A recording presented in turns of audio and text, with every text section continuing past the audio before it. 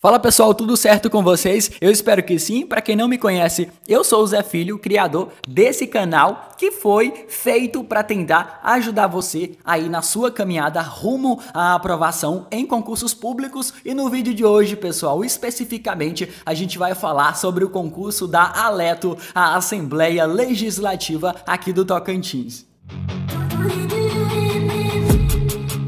Bom, pessoal, e a respeito desse concurso, eu tenho uma boa notícia para vocês. É que recentemente a comissão organizadora do concurso, durante uma reunião, ela divulgou uma ata e nessa ata, nesse documento, ela informa em quais municípios haverá a aplicação de provas do concurso da Aleto. Segundo o documento, pessoal, as provas serão aplicadas nas seguintes cidades: Palmas, a capital do Tocantins, inclusive é aonde está sediada a Aleto, Araguaína, Araguatins, Arraiz, Dianópolis, Guaraí, Gurupi, Paraíso do Tocantins e também Tocantinópolis, que inclusive é a cidade que eu moro atualmente. Bom, gente, e até o momento que eu tô gravando esse vídeo, o edital desse concurso ainda não foi lançado, mas a gente já sabe que a banca examinadora desse concurso é a FGV, a Fundação Getúlio Vargas, mas a previsão é que o edital seja lançado até o próximo dia 7 de outubro e as provas aplicadas no máximo até dezembro deste ano. Tá certo, gente? E antes de encerrar esse conteúdo, eu quero pedir